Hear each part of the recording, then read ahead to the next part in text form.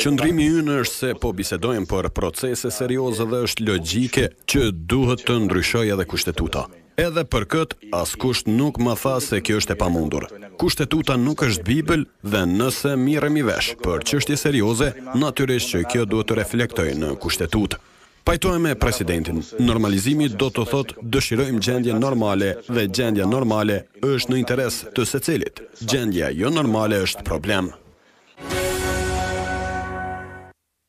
Albina, si e keni parë këtë deklaratë të Lajçak pikërisht për ndryshimin e Kushtetutës, kërkesa për të ndryshuar Kushtetutën? Kushtetuta nuk është Bibël.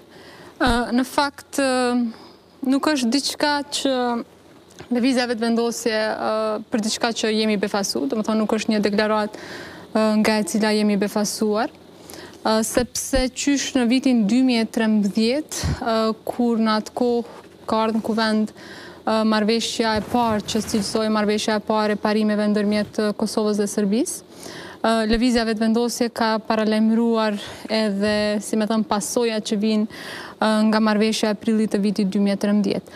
Dhe pikërisht edhe në atë kohë, kemi thënë që zajednica qysh ne jemi referu e shpesh jemi kritiku, nuk është që kemi përdorur rastësisht atë term.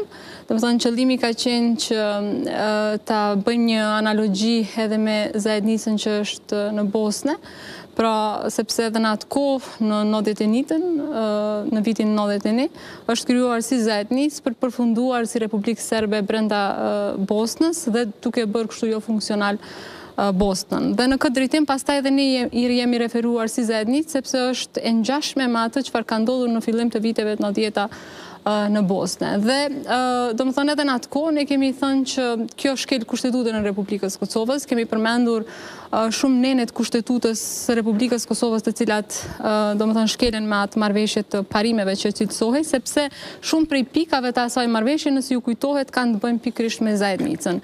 Dhe domethënë me ngrit një strukturë institucionale apo një pushtet të tretë siç i referoheshim mbi baza etnike, pa dyshim që është në shpërputhje të plotë me kushtetutën e Kosovës. Por, Pas ratifikimit e deri te ratifikimi ju kujtohet që ka pasur një përplasje të ashpër në Kuvendin e Kosovës.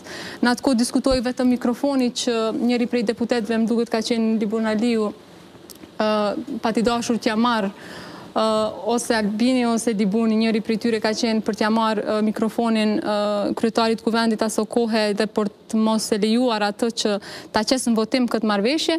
Pra gjithë merreshin me, si me thënë, veprimin e deputetëve tanë dhe askush me pasojat që marrëveshja i sjell Kosovës. Dhe tash është e çuditshme se si pikërisht deputetët, partitë politike të cilat kanë bërë të pamundurën për t'u ratifikuar ajo marrëveshje në kuvendin e Kosovës, flasin kundër kësaj marrëveshje. Në vend që t'japin përgjegjësi për një dëm të madh që ia kanë shkaktuar Kosovës, ata, si me thënë, tash dalin kundër, sepse besoj që i kanë parë pasojat e asaj marrëveshje. Në atë